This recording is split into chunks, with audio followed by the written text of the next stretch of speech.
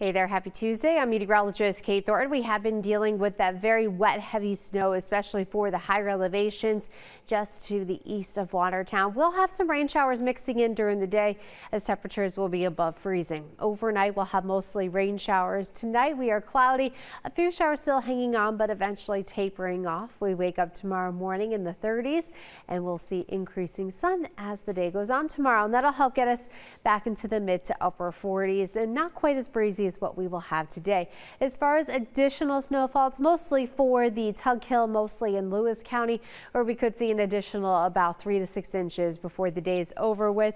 But then for tomorrow, we don't have any snow to worry about and no snow to worry about for the rest of the week.